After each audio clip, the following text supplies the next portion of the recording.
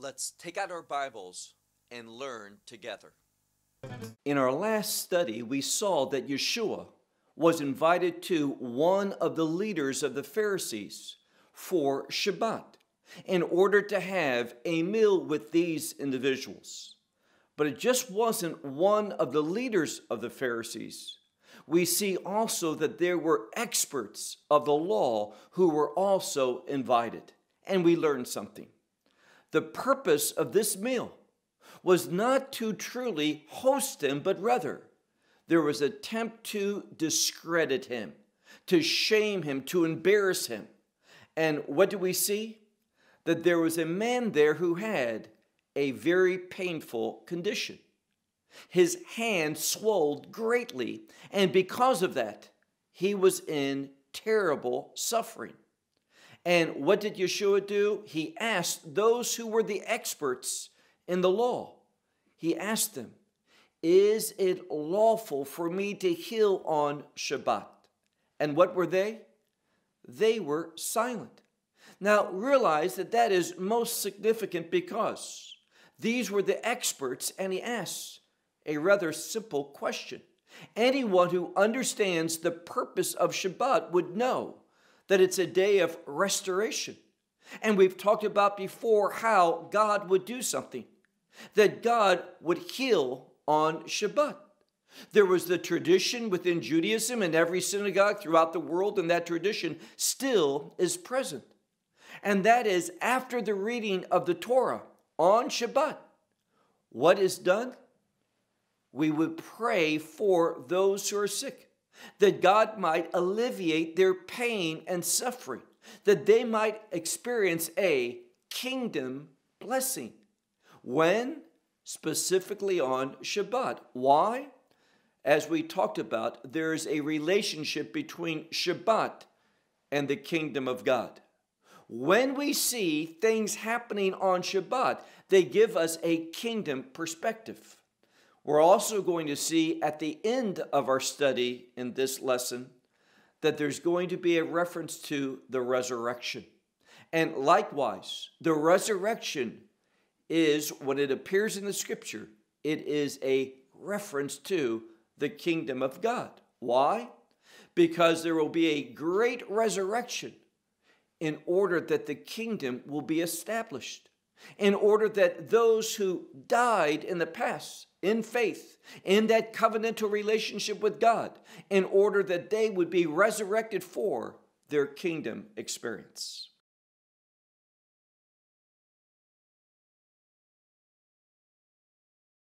Well, take out your Bible and look with me to the Gospel of Luke and chapter 14, the book of Luke, chapter 14. We're going to begin in verse 7. And there we read, but he was saying to the ones who had been invited, meaning invited to this Shabbat observance, this meal at the leader of the Pharisees, he was saying to them a parable. Now, why did he say this parable? Notice what is continuing in this same verse. Having paid attention to how all the first seats, the best seats, they had chosen, saying to them, and he wants to now instruct them. He saw that they were not humble, but they were using the Shabbat as an instrument to exalt themselves. That is not the kingdom attitude. They did not have a kingdom decision making process going on. They were thinking of themselves. They did not understand one of the foundational principles of the kingdom of God. And what is that? To love your neighbor as yourself. They weren't thinking of others, they were thinking only of themselves, and that is in conflict with the kingdom mindset. Keep reading, verse 8. He says, Whenever you should be invited by someone to a wedding, do not recline at the best seats, lest someone more honorable than you, having been invited by this one. So there's a situation where if you go and you take the best seats, perhaps there'll be another one who is closer. It says here, more precious, more honorable to the host will come. And he will want that one who is closer to him, more honorable than you, that he would take a better seat.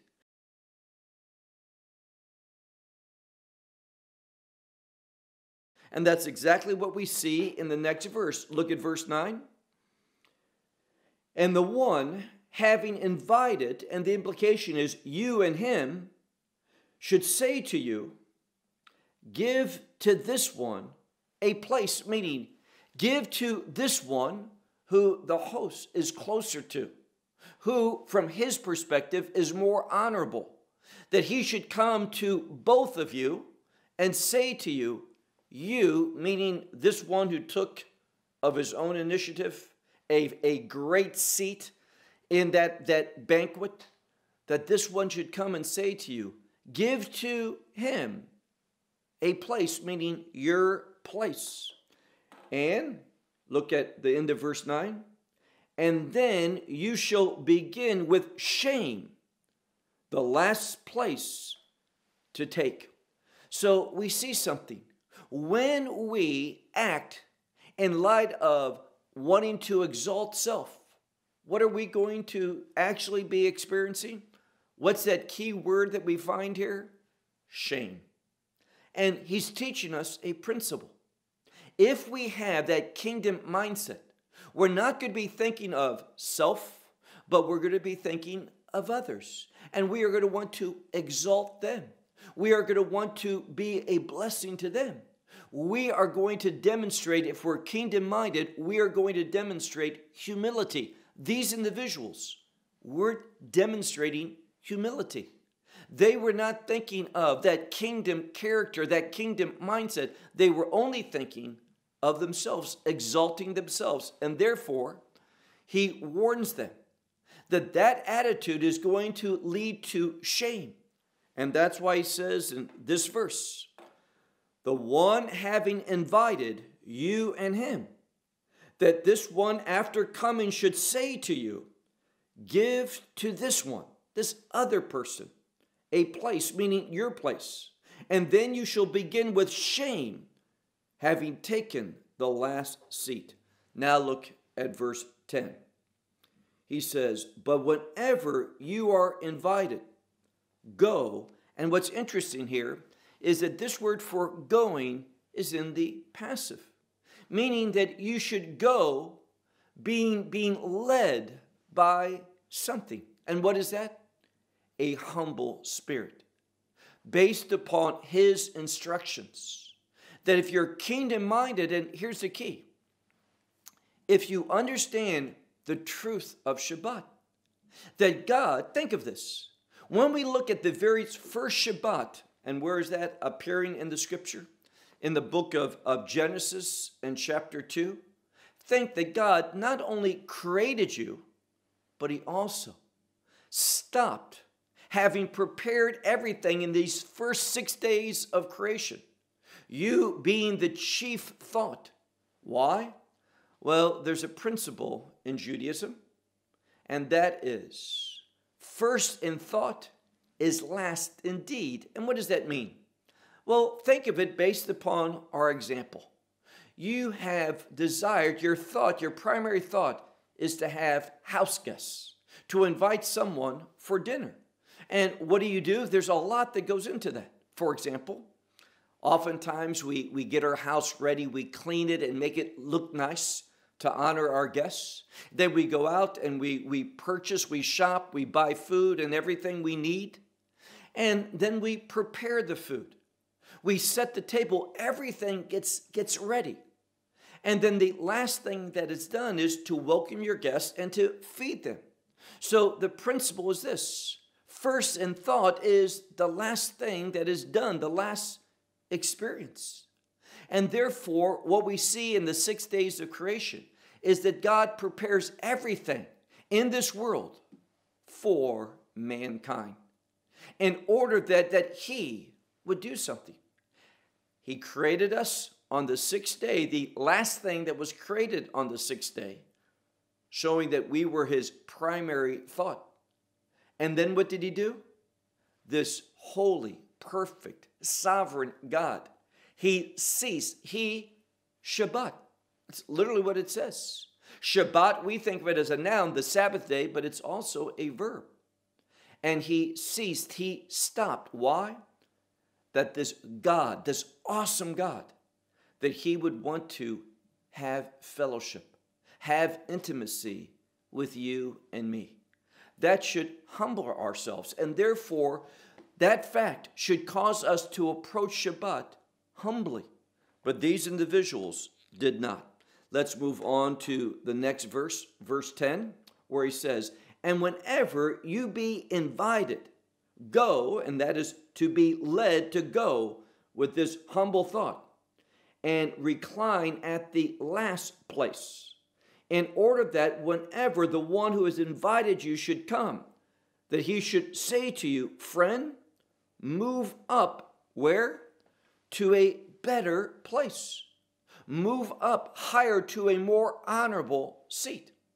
And why is that important? Well, he says, keep reading in verse, verse 11. He says, actually, the end of verse 10 Then there will be to you glory before the ones who are reclining with you. So we see something. If we have that kingdom mindset, and we see that connection between the kingdom and Shabbat. If we approach Shabbat properly, humbly, realizing that this is a day that God has sanctified, and again, I want to say, He did not say to us, you know, there's seven days in the week, you choose your day of rest. He didn't say that. The scripture says that He specifically sanctified the seventh day in order that He would have fellowship, intimacy, friendship with us. And therefore, that should humble us. And what does the scripture teach us, teaching us now? Very simply. On this Shabbat, he's teaching that you're either based upon your mindset, if you have a kingdom mindset or not.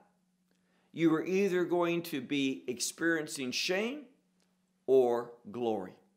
Now, that is exactly what everyone is going to experience when the kingdom of God is established. You will either be with him, and that term with him relates to redemption as a word with is a redemptive word. You are either going to be with him in the kingdom where you are going to be experiencing the glory of God, being in his presence, or you are going to be cast out outside where there is darkness, that is fear, where there is weeping, which is sorrow and sadness, and where there is gnashing of the teeth, where there is torment. And realize these three things fear, sadness, and torment are eternal. So you are either going to experience eternal shame and suffering or you're going to experience the blessings of God, the promises of God. Where? In the presence of God. That's the choice. And therefore, because the kingdom of God is so marvelous, so wonderful, therefore, that fact that He has made it possible for you and me through faith in that gospel to be part of the kingdom, we should be humble. We should not be thinking of ourselves. Here's the example God did not think of himself, but he blessed humanity with Shabbat in order that we would experience him, his love, his presence, his blessings, and his favor. All of that is related to the kingdom, and that fact should humble us and cause us to have that kingdom mindset, which is to love our neighbor as ourself. Look now to verse 11. There's a concluding statement. He says, Because everyone who humbles himself, excuse me, everyone who exalts himself shall be humbled, and the one who humbles himself shall be exalted. Now, that's just a universal kingdom principle, and it's true always. He says here, look again at verse 11. He says, Everyone, every person who exalts himself, they are going to be humbled. But the one who humbles himself, that one is going to be exalted. What's being emphasized? A proper understanding of Shabbat is going to minister humility to us, meaning when we rightly understand the Sabbath day and the history of it, what God has done going all the way back to the book of Genesis and specifically Genesis 2. God stopped all of his work. Why? Because he desired to spend that seventh day with humanity. And that should humble us and cause us to humble ourselves in front of others. These individuals weren't doing that. They were trying to exalt themselves by rushing to the, the finest seats at this banquet. Now we move on to a second aspect. Look now to verse 12. But he said also to the one who invited him, Whenever you make a supper or a dinner. So again, he's speaking about the right attitude that we should have when we have a banquet, a dinner, a supper, invite guests to our home. He says here, whenever you make a supper or a dinner, do not call to your friends, nor to your brothers, nor to your relatives, nor to your wealthy neighbors, lest also these, you, and the word here is to invite you back. So to be a, a in a reciprocal relationship. He says, if you invite your, your wealthy friends, your relatives, your friends, or your, your family, he says, if you do that, they're going to do what? They're going to act in a reciprocal way and invite you to their place. What does he say to do? Look now to, to the second part of verse 12 where he says, actually, verse, verse 13 where he says, But whenever you make, and he uses a different word, a party, a celebration. But whenever you make a celebration, call, and notice this, call the poor, the handicapped, the lame, the blind. And if we do that, notice what he says. If we, instead of inviting those individuals that have the means to pay us back, invite us to their home for dinner, he says, rather, you need a different mindset. You need to be thinking not of yourselves, but others. There are individuals that don't have enough to eat, that, that people treat as outcasts. They ignore them, they don't like to be around them. So he says, when you make a, a celebration, a party, a banquet, when you're holding an event in your home, he says specifically, this goes contrary to our mindset. He says, invite who? Not your friends, not your wealthy neighbors, not your brothers, and not your relatives but rather, he says specifically, look at this verse, verse 13, where he says, But whenever you make this celebration, invite the poor, the handicapped, the lame, and the blind. And what will be the outcome? Look at this last verse. And you shall be blessed. Now, that word bless, makarios, is a very significant word in, in the Greek language. It, it parallels another word, and that is the Hebrew word ashrei. Now, ashrei is well known among the Jewish community because it is the word that begins the afternoon prayer time. And it means blessed or happy. And we shouldn't think of it as either or, but both. And what God is saying here is this when you act in that kingdom mindset, when you humble yourself and not want to exalt self, but think about the conditions of others, think about what they lack, think about their situation, their plight. And if you invite the poor, the handicapped, the paralyzed, and the blind, these are the ones that are ignored by society. Those who, in order to survive, they have to beg. They have to rely upon the, the generosity and the compassion of others. And let's be honest, this world is not all that compassionate. It is a harsh world. Much in the way of suffering goes on in this world. Why? Not because there's a lack of resources, but because we like to use our resources on self. And what he's teaching here is that this is not the kingdom mindset. This is not how God behaved. God, out of his love, out of his generosity, he created you. And not only did he create you, but because of human sin, and we need to understand this rightly, if you and I were in the Garden of Eden, we would have done the same thing. We would have sinned. It was not that that first man, Adam, and his wife, Chava, were any different.